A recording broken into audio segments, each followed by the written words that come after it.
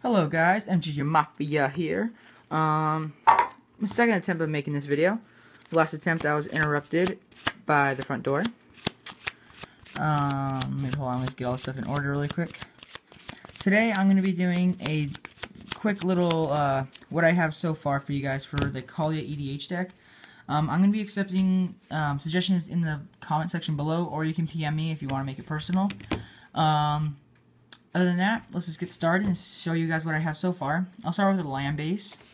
I have Command Tower, Promo Valakut, um, Sulphur Springs. I know you guys are going to realize later, um, I am not even actually running a total of, I'm only running a total of five mountains in the deck, so, um, this, this is basically just a pointless land, um, but I'm going to run it anyways. Um, I don't know what I should run instead of it. Um, make some suggestions below. I'm not accepting anything that has to do with uh,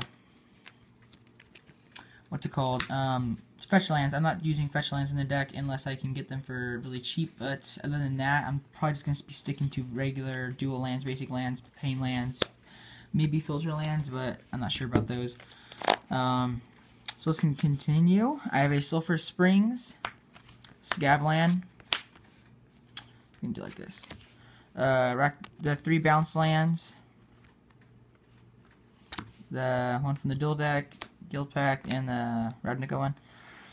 Ruins of Trokair, Even Stronghold, the three Vivid Lands, Vivid Crag, Meadow, and Marsh, Dakmor Salvage, Temple of Silence, Temple of Triumph.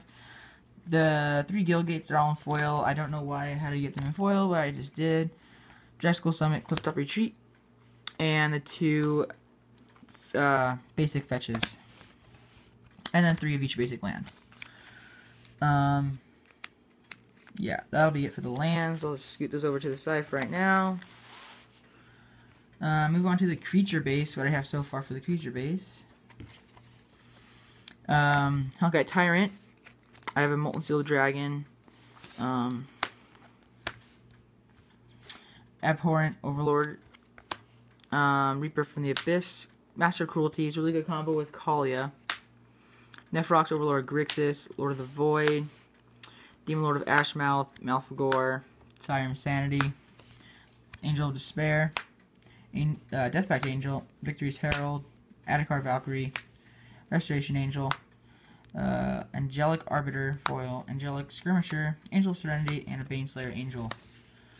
Um, that's the creature base so far. I'm accepting suggestions for all of them.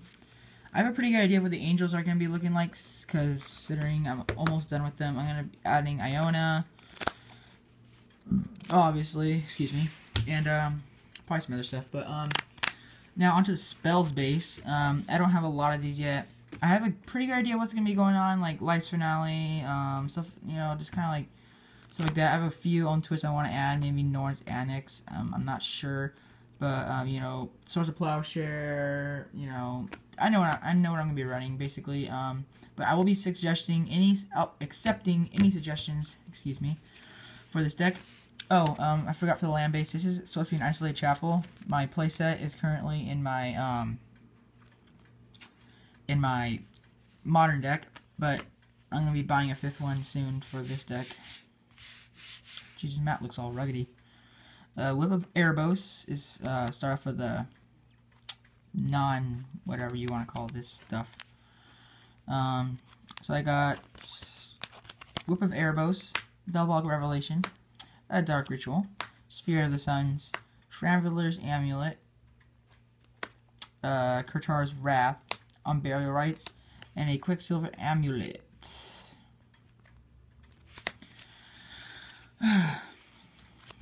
So that's what I have so far. Now, let me you guys know what you guys think about this. Any suggestions, please post them below. Um, tell me what you guys think of the us coming back. Tell me what you guys want to see more of. And we will definitely try our best with that. So, once again, guys, thanks for watching. Hope to see you guys next time. See you later. Peace out.